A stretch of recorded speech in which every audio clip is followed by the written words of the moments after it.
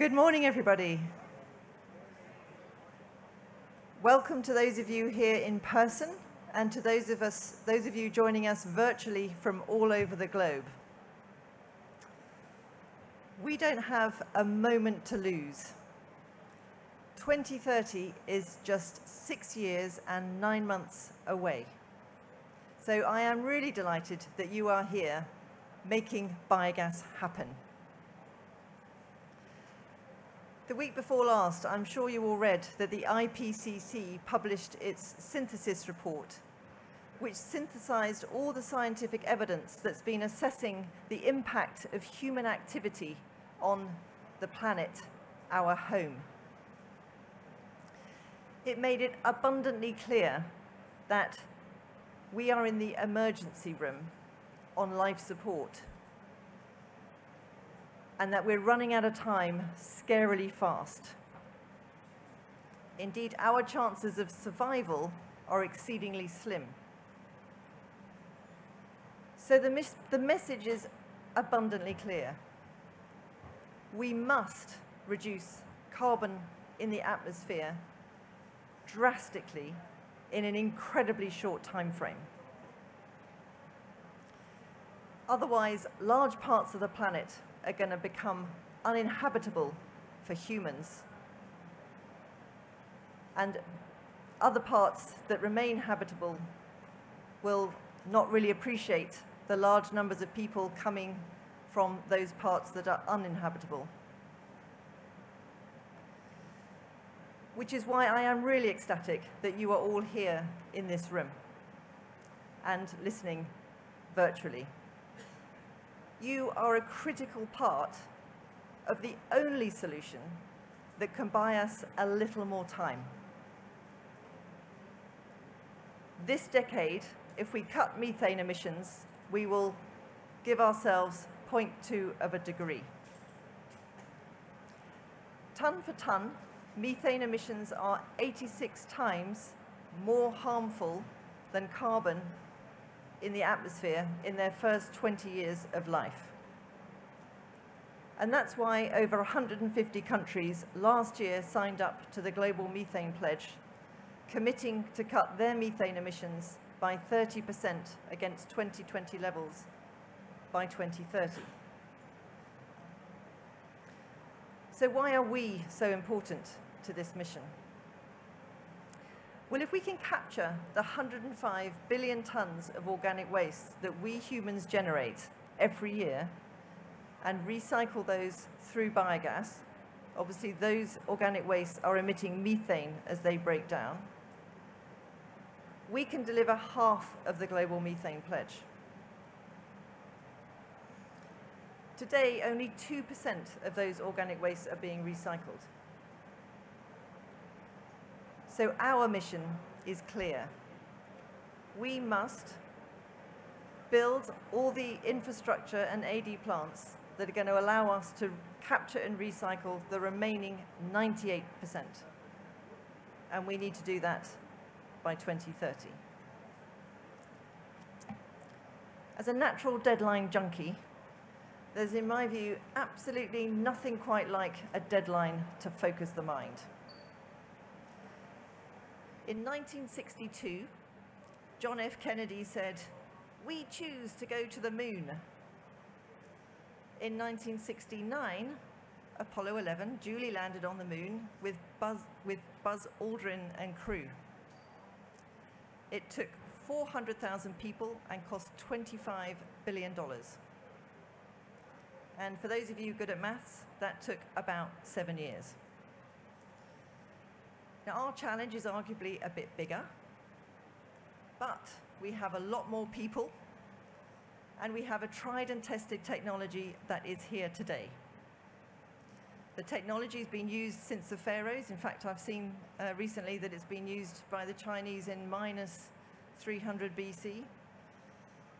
So this is a technology that has been widely used today and is more than capable of delivering it. Getting Apollo 13 back, some of you remember from the film, was also pretty difficult. And they didn't have years, they had hours. but it too succeeded. So we can do it, but we need to be laser focused. We need to communicate effectively, plan effectively, collaborate effectively.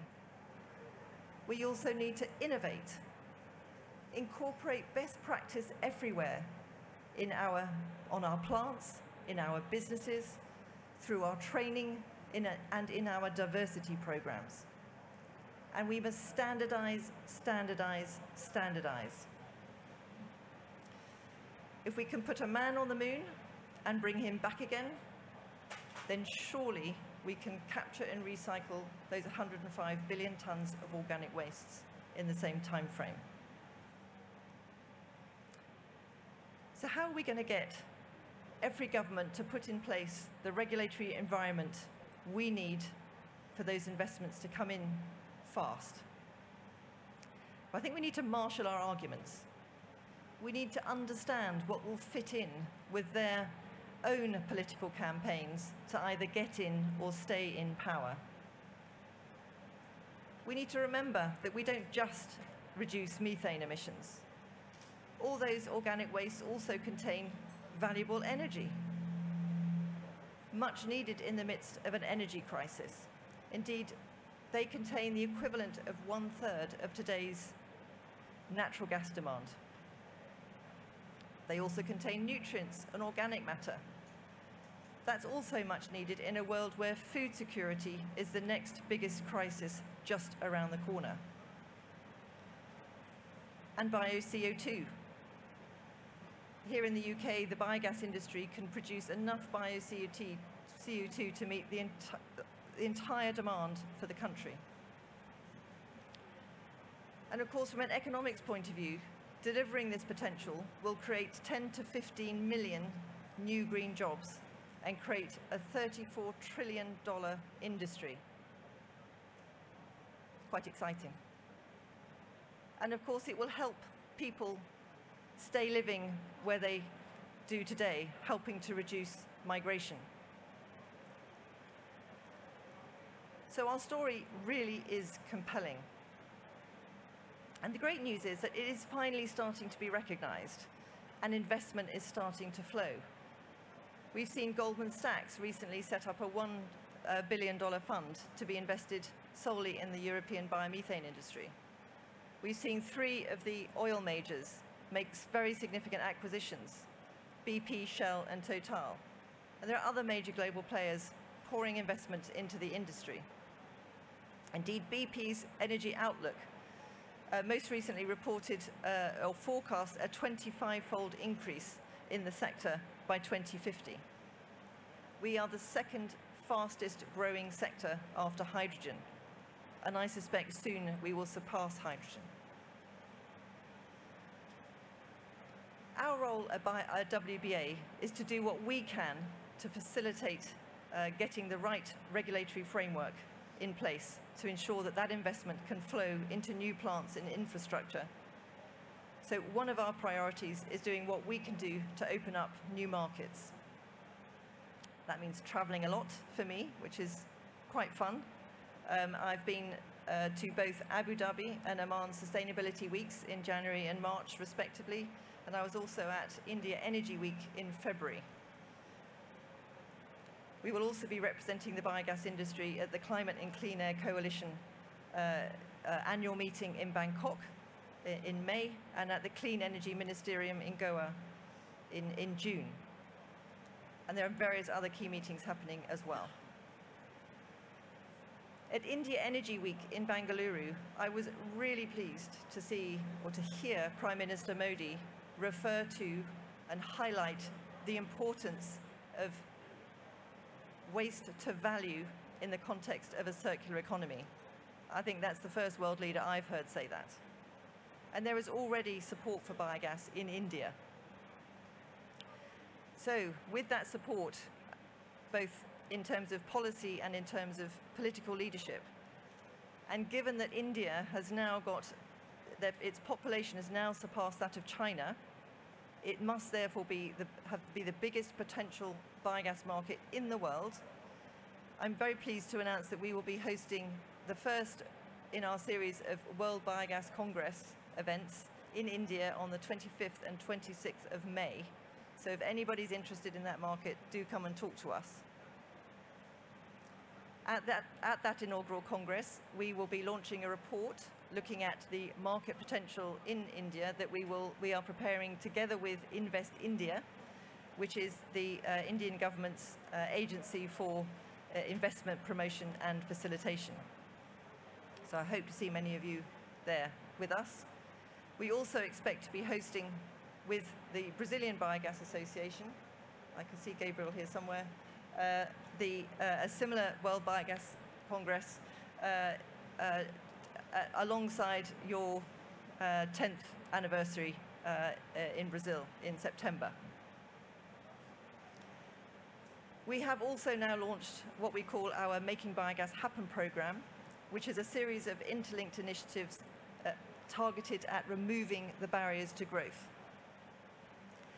The program includes a global biogas framework, incorporating all the regulations that any government really needs to implement so that on the ground you can build biogas plants. It's also obviously critical that uh, every plant is designed, built and operated well. Any plant that isn't causes reputational damage that impacts the whole of the industry.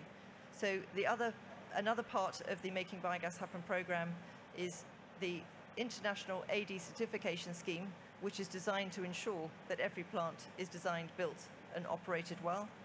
And the third big plank is the training platform, which is designed to make available training so that all those 10 to 15 million people coming into the industry can access the training they need uh, as fast as possible.